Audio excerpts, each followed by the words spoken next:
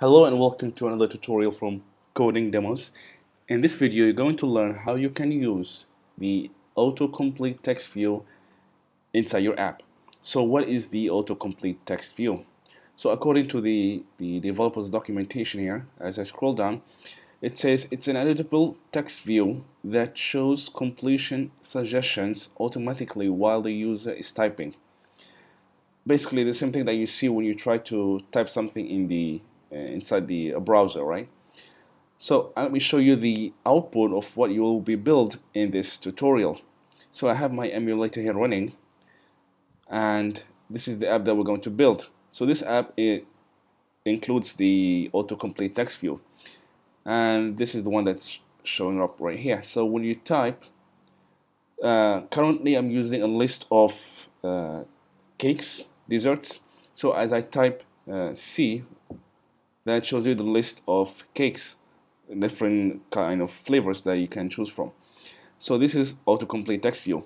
So let's open up Android Studio and let's build this. Alright so this is Android Studio. Alright so the first thing that we need to do is we need to add the autocomplete text view. To do that, open up the activity underscore main and scroll all the way a bit just to give some space. And let's drag the auto text view auto complete text view from the palette. So if you don't see it here then just click on the search icon and just type auto complete text view. That's the first result. Copy that and just drag it into your uh, view here. So here we have the uh, the autocomplete text view. Let me just close this. All right. Okay. I'm going to remove this. We don't need that. Okay. So this is the text view the first thing that we will start with is the something called the autocomplete threshold. It's something based on the documentation. This is the one. So Android completion threshold. So what this does is it defines the number of characters that the user must type before completion suggestions are displayed in the drop-down menu. So if we refer back to our example again, this refers to the characters that you type in. So in this example, we used only one character. You can choose two, three, but by default it is one, but you can uh, set a different number it could be two it could be three it is based on your requirements for this example we're going to go with just one character so the moment the user types one character inside this autocomplete text view then the list of the autocompletion will show up with a list of items that you have defined in your app. Okay so go back to Android Studio and let's define that now. So Android and completion threshold choose that and just put it an integer number. So I'm going to choose 1 so 1 is if I type just a single character then it will show up the list of items okay so that's one is now we've set the completion threshold now this is the basic autocomplete text view now we need to go to the main activity here, the Java side, and we need to reference the ID of that uh, view. And we'll do it as usual, so it's autocomplete text view. We'll give it a name. Uh, we'll just use the default one. And it's equal to the find view by ID. We refer to the ID that we've just set, which is the autocomplete text view. And that with semicolon. And then we need to set the adapter for the list of items. So this list of items I have defined them inside the strings.xml file. So strings, this uh, it's a list, it's an array item that contain the the sweets items inside the array. So we're going to refer to this array inside the Java file. To do that, we need to use array adapter because array adapter is the one that holds the data of the items that will show up inside the the autocomplete text field. So we do array adapter. It will be a type of string and we will give it a simple, let's say array adapter as a name and then new array adapter. Here we need to first pass the first argument and that is the the current context which is main activity.this and then we will choose a simple list for the drop down. And we can use the one that is provided by Android which is android.r.layout.simple list item 1 and then we need to refer to the, the items that were the string items from the strings.xml file so the string items is in type of string array. So we do get resources dot get string array and then we'll just pass in the ID of that array. So r dot array dot sweets and we'll funnel in that with semicolon. So let me just put this in a new line. Alright so now we have the array adapter ready the final thing we can do is we can just connect this set this adapter to the autocomplete text view. And we'll do autocomplete text view dot set adapter and we will pass the array adapter here.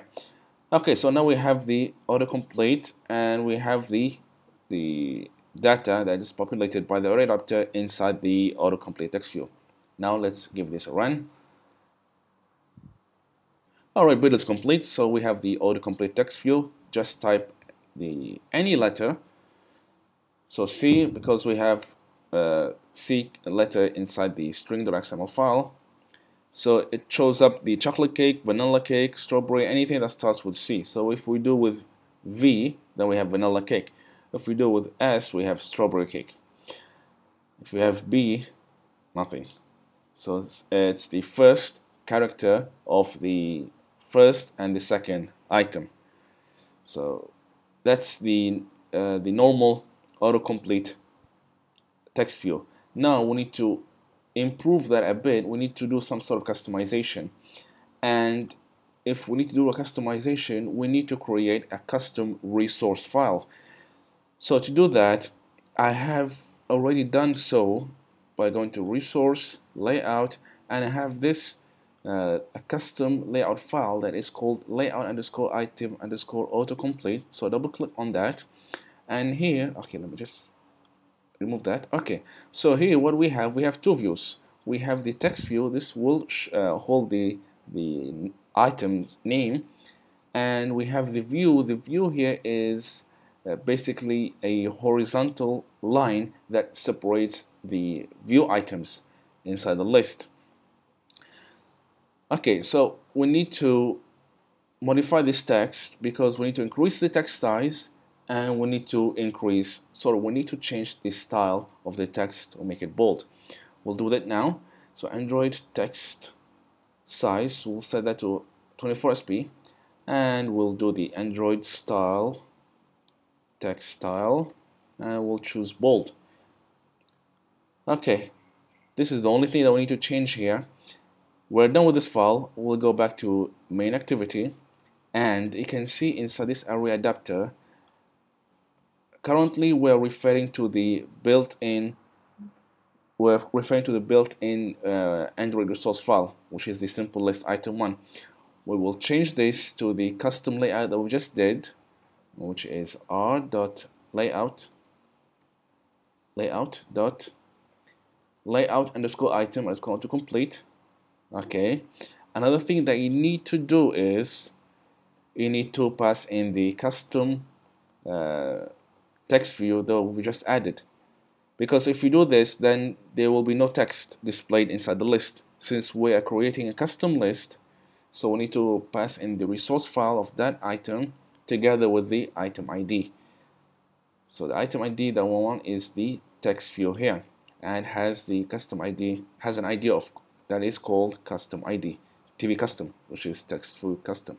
We'll go back to the main activity and we'll just refer to that here. So it's Android dot id dot uh, custom text view text view custom. Alright so we have the custom layout and the its text view as well.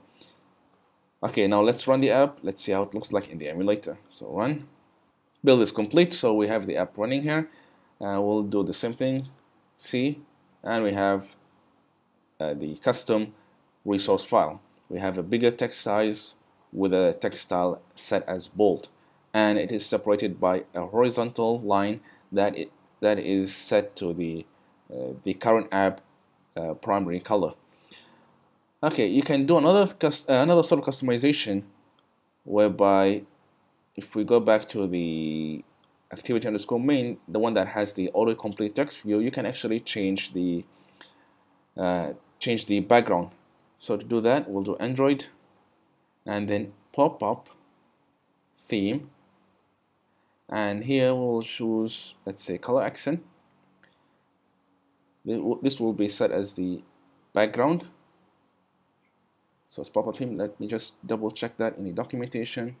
Oh sorry it's pop-up background let me just copy this and go back to Android Studio. Okay pop-up background.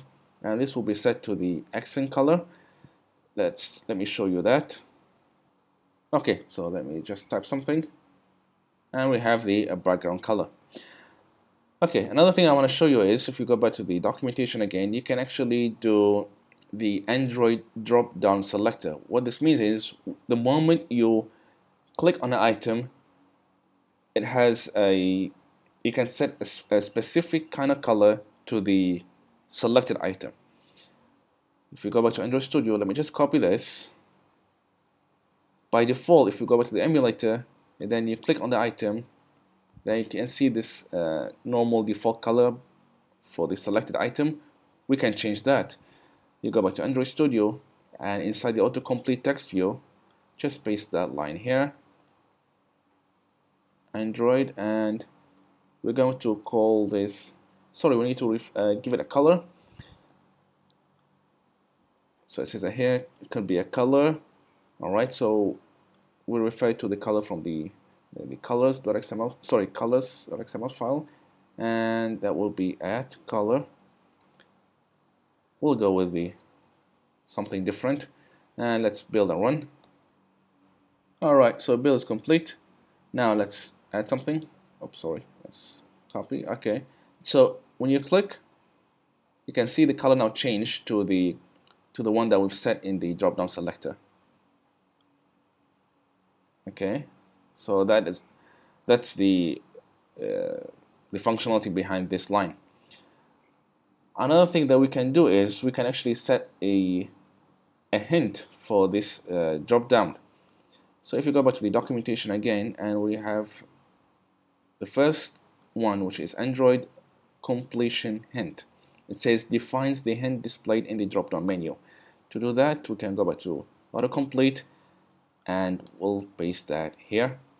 And we'll give it a hint. Let's say choose a cake for simplicity. Okay let's build that one. Builds complete. Choose a cake. And you can see at the bottom it says choose a cake that's the autocomplete uh, sorry that's the the hint. Alright and you can do so many things right?